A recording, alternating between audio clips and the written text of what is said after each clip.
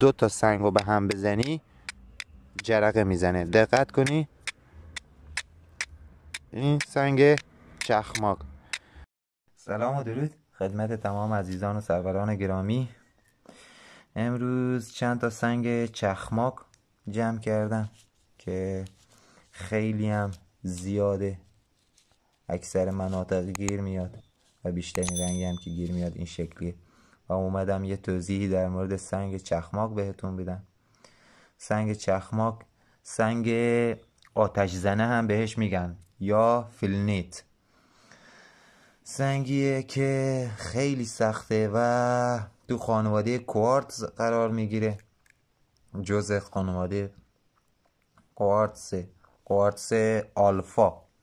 جز خانواده کوارتز آلفا هست و تا دمای 578 570 دیگه تو همین رنج پایداری داره.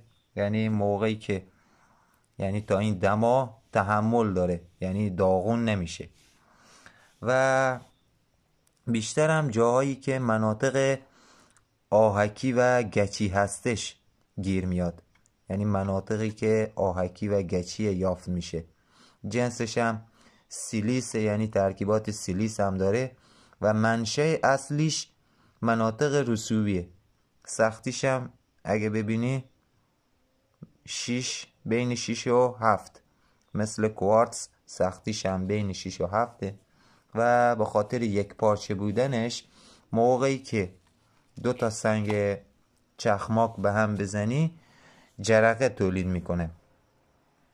و باعث آزاد شدن گاز اوسه میشه.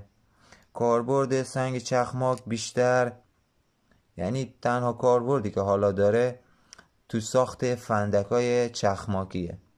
فندک هایی که دیدین موقعی که بعضی فندک هایی که حالا می‌خرین اکثرا که نه.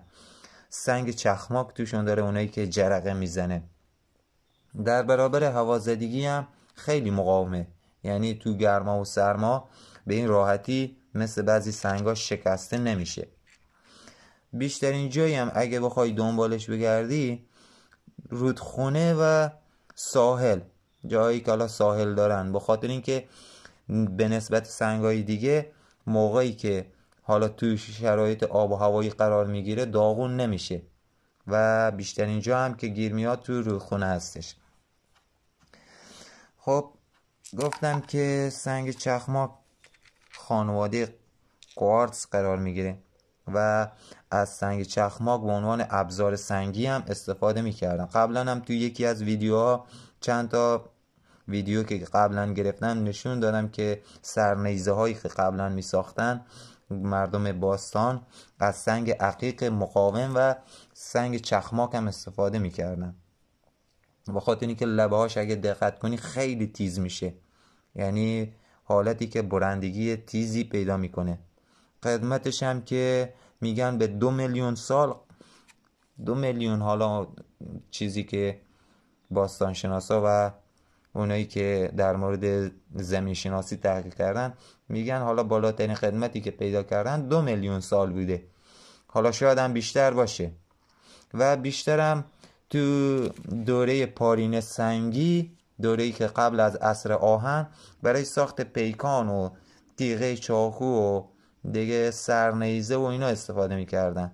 و اولین کسایی هم که میگن سنگ چخماک و به عنوان این چیزا استفاده کردن و کاربردش رو در آوردن مردم بومی آمریکا بودن آمریکای شمالی که برای ساخت این ابزاری که گفتم استفاده می‌کردن. و آمریکای شمالی و اوهایو اوهایو هم میگن مردمش اونجا هم از معادنی که وجود داشته استفاده می‌کردن و برای معامله حالا تجارت و از این چیزا استفاده می‌کردن.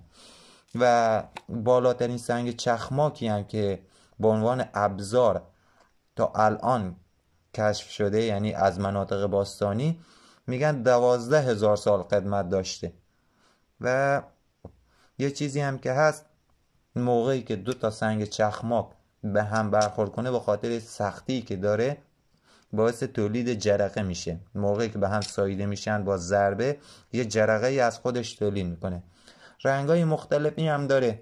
بیشترین رنگی که پیدا میشه سفیده. سیاه داره خاکستری داره زرد داره قرمز مایل به قرمز که نزدیک به رنگ خرما باشه. یعنی قرمز خرمایی هم داره سبز هم داره. و بیشترین رنگش حالا این رنگ سفیدی که هر جای این کره زمین بگردی گیر میاد. رنگای سیاه رنگای خاکستری سبز کمتر گیر میاد. سختیش هم براتون گرفتم. گفتم خانواده کوارتسه حالا چراغ رو خاموش می‌کنم که ببینید تو تاریکی چطور موقعی که دوتاشون به هم می‌زنی جرقه می‌زنه. نم. آوردم که موقعی که اینجوری.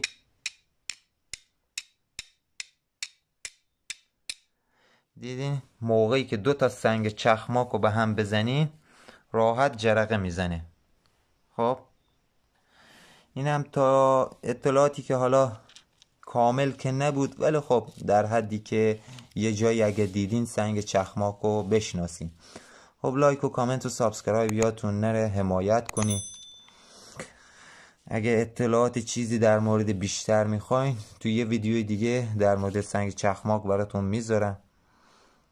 و اینکه راحت از این سنگ می‌تونی تو طبیعت به عنوان حالا جای کمپی میرین اردوی میرین اگه باشه تو دسترس تو دسترستون باشه می‌تونی راحت باش آتیش روشن کنی.